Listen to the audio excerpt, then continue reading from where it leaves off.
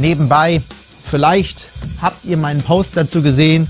Dieses Schlagzeug, seitdem ich nicht mehr bei Ohrenfeind spiele, möchte ich weitergeben. Es soll nicht bei mir verstauben, es soll nicht woanders verstauben, es möchte gespielt werden. Ähm, und es hat mich lang genug begleitet, aber jetzt möchte ich dieses schöne grüne Drumset weitergeben. Also falls euch das interessiert, falls ihr dieses Schlagzeug von mir übernehmen wollt, schreibt mir doch mal am besten eine Nachricht über das Kontaktformular auf meiner Website. Do it!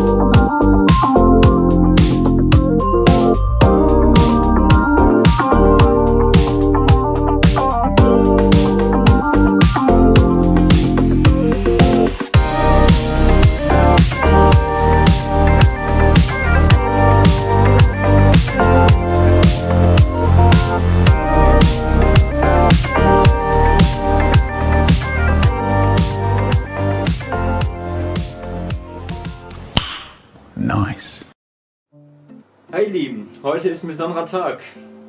Ich bin hier bei Andi Rode und wie ihr gerade gesehen habt, das Adoro von ihm gehört jetzt mir. Der Besitzer hat gewechselt und ich bin super glücklich darüber. Und lieber Andi, wie fühlt es sich an, so ein Set abzugeben?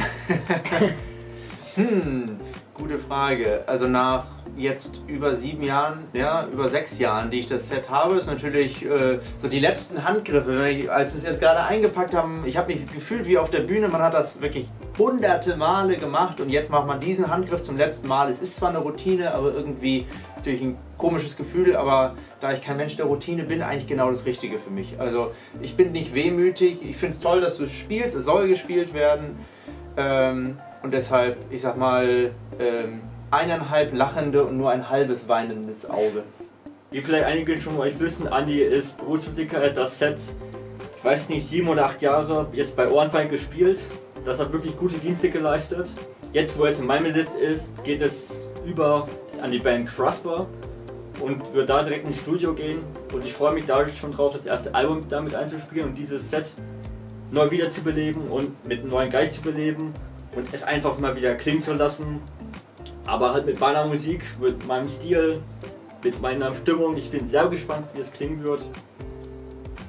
Wirst du dir das Set mal anhören? Wenn es Natürlich, ich bin, ich sagen, ich bin, ich bin gespannt, wie äh, das gleiche Set in einer anderen Band auf einem, also gespielt von einem anderen Drummer klingt. Das ist bestimmt sehr spannend. Das kennt man ja. Äh, zehn Drummer spielen denselben Groove oder denselben Song, das klingt immer unterschiedlich. Aber wenn das Set gleich ist, aber der Schlagzeuger unterschiedlich und es dann gut aufgenommen ist, da bin ich mal sehr gespannt auf den Vergleich. Es ist ja so, äh, wie du es jetzt hast, nicht im Studio benutzt worden, so mal die Toms, mal die Bassdrum mit anderen Toms, aber nie als Ganzes. Aber es erscheint ja bald noch eine Live-DVD von Ohrenfeind, die vor einiger Zeit aufgenommen wurde, als ich da noch mitgespielt habe. Und da bin ich mal sehr gespannt, diese Aufnahme mit deiner Aufnahme und deinen Aufnahmen dann zu vergleichen. Moral von der Geschichte, liebe Leute, wenn ihr Instrumente kauft, kauft nicht immer alles neuwertig. Es gibt sehr viele und vor allem sehr gute Instrumente da draußen, die top gepflegt sind, wo ihr wirklich einen Schnapper machen könnt, wie jetzt beispielsweise ich mit dem alten Set von Andy. Und ich glaube, du hast da auch noch was zu sagen.